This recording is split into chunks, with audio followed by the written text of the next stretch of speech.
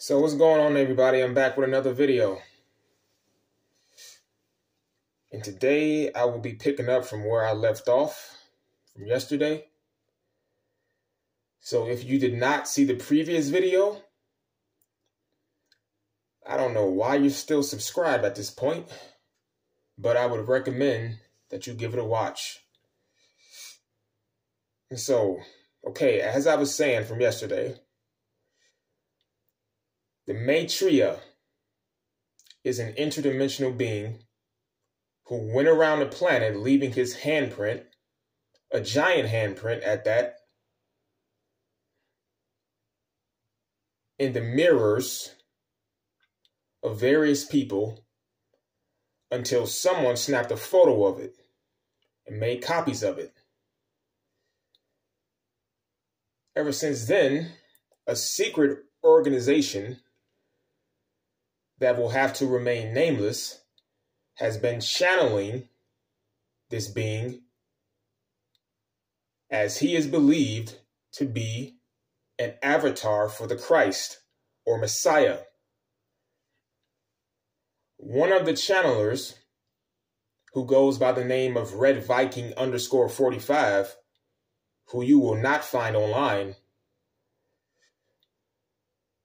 wrote a letter to the author of this particular book.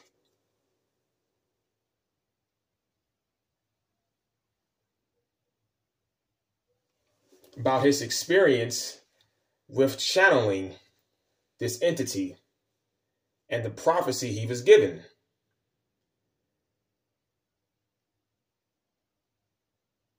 And here is my attempt at decoding it. So let's start with the prophecy itself. It reads, The gates shall be opened from the center of the planet. They shall emerge. And I will take my rightful place at the helm of this great vehicle the seven tricksters will dance across the heavens in celebration of my return. I will reclaim the remnants of my kingdom. The sons and daughters of Enki will be lifted up by the knowledge of their true nature as encoded in the essence of life. Let's begin with the first line. The gates shall be open. I think that's pretty straightforward. It means that whatever was previously held back or hidden will now come to the forefront. Okay? It is a point of freedom. The next line from the center of the planet, they shall emerge. Okay. The center may refer to the literal center of the planet being the Earth's core, or it could refer to the center of landmass on the Earth's surface which is the pyramids, the great pyramids of Giza.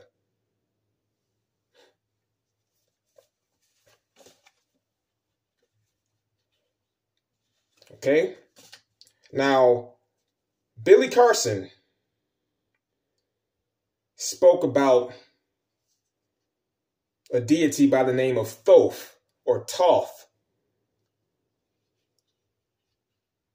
burying or storing a spaceship that he was riding in when he got here under the pyramids of Giza. I'm quoting Billy Carson. And so, with that in mind, perhaps the ship is sentient, separated into parts that will come together as one. Hence, they shall emerge. Perhaps he's talking about pieces of a ship that were separated that will emerge and come together as one. Or perhaps that line is referring to a race of extraterrestrials living inside of the actual Earth. Okay? Next line. And I will take my rightful place at the helm of this great vehicle. So, this is the Maitreya steering or taking control of a UFO that has been emerged and rightful because he is perhaps the creator of it himself. All right? Next line. The seven tricksters will dance across the heavens in celebration of my return. Okay.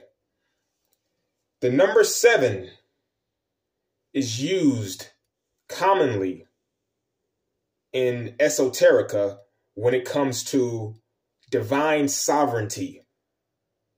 Okay? You have seven archangels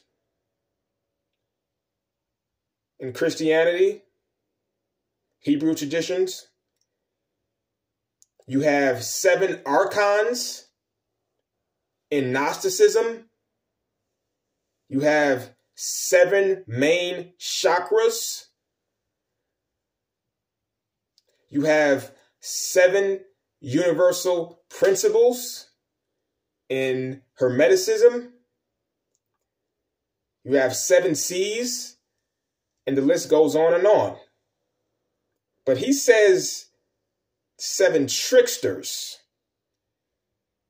And to me, this is the only line of the prophecy that has a bit of a negative connotation to it because trickery implies that you're trying to fool somebody, right? And then I thought about it and said, hmm, let me do some research on the meaning of a trickster throughout history so I can make some light of this. And as it turns out, nearly every mythology has a trickster god. And then I realized, after doing some studying and reflecting on it, that their style of trickery is not done for their own selfish gain, amusement, money, or for scamming. It's not done for that. Their trickery is associated with playing games with people when it comes playing mind games with people when things get too stagnant. They arise to lead you to a different perspective and remind you of possibilities.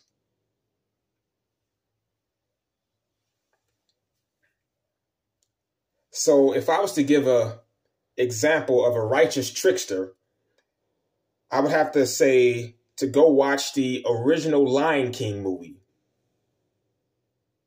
and skip to the scene where Simba, as an adult, first meets Rafiki, the baboon, and think about what he did for him in that interaction. Think about what it led to enlightenment for Simba. Tricksters are also very intelligent, more than they act at times. All right, let's continue on with the next phrase. Okay. The seven tricksters will dance across the heavens. Okay, so in order to dance with somebody, right? In order to dance, to properly dance, you have to be in a certain alignment with them. You have to mirror their motion in a way. So the seven tricksters dancing across the heavens could refer to the alignment of the seven planets, excluding Pluto, because Pluto is no longer considered a planet in mainstream astronomy, and excluding Earth, because we're actually on Earth now.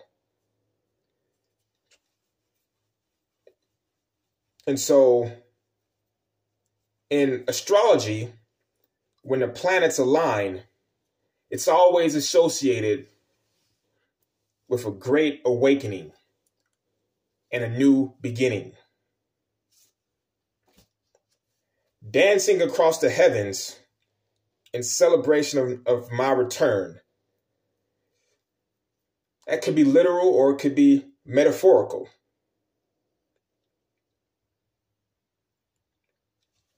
Next line. I will reclaim the remnants of my kingdom. I think that one is um I think that's pretty straightforward. His kingdom could be Egypt if as I stated earlier, this great vehicle that he spoke about if it were to arise then most likely it would be arising from Egypt or he or he could be referring to the whole planet as his kingdom. Next line, the sons and daughters of Enki will be lifted up by the knowledge of their true nature as encoded in the essence of life. Now, if you don't know who Enki is, whose name means the Lord of Earth to the ancient Sumerians, his name, his actual name means Lord of Earth the Sumerians were the very first recorded recorded civilization. And they know him as the Lord of Earth. They know him as the world's greatest scientist. And they know him as the father of humankind. He was or is a benevolent God, interested in raising up and teaching humanity, not oppressing them. To the Greeks, he would be Prometheus, the god who stole fire from the higher gods and gave it to man as a symbol of freedom and enlightenment. He is a great watcher. Okay? And notice the notice the prophecy doesn't say I am Enki. It doesn't say that. So it could be referring to someone related to him, maybe his children, or perhaps a brother or a sister. Okay? It says, the sons and daughters of Enki will be lifted up. Now, Enki is most commonly referred to as the father of man. So he's talking about the whole of the human race when he says the sons and daughters of Enki will be lifted up. Okay? Homo sapiens lifted up, lifted up by the knowledge of their true nature. I look at that as people finally realizing that they have divine birthright to be here and to live in harmony with their fellow man, building the lives that they were truly meant to have. Okay, next line. As encoded in the essence of life. All right. Hmm. That the essence of life. When I hear that statement, two things come to mind. First of all, it's encoded, so that means that it's hidden and someone has to extract it either literally or metaphorically. So the essence of something is the smallest, most basic part of something. You know, if you take it away, the rest of it will cease to exist. It is the source, core, it is a seed of a fruit, things of that nature. It is the nucleus of a star, it is an atom of an object, it is the soul of a person. That's what we're talking about. We're talking about essence.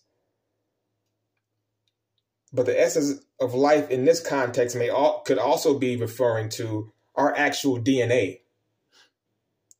So perhaps we will come to a new understanding of what we previously rendered as junk DNA. All right?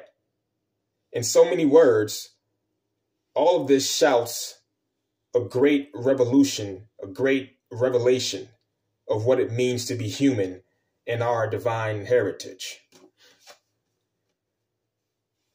The impossible will become possible. And so the prophecy to me, it sounds like the beginning of a utopia. We will see, you know, we will have to see. We will have to see on that. Okay. That's the end of that. And so,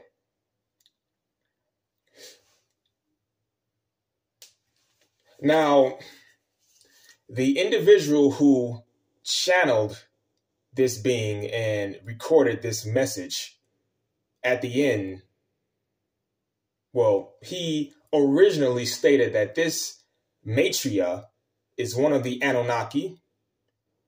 And then he eventually stated that the Anunnaki are what the Gnostics refer to as archons, and that the archons are demons which unfortunately invokes all kinds of, you know, terrible thoughts and imagery because we still live in a pro-Christian good versus evil type of society, right? And, you know, maybe he's right. Maybe this is all demonic. But what cannot go without being said is that the word demon is an English word which came from an older Greek word, daimon daemon or diamond. And that word, this is why I love etymology because it tells you a deeper truth on the words that we use. Diamond did not have a negative connotation. I repeat, diamond, which is where the word demon came from originally, it did not have a negative connotation. It referred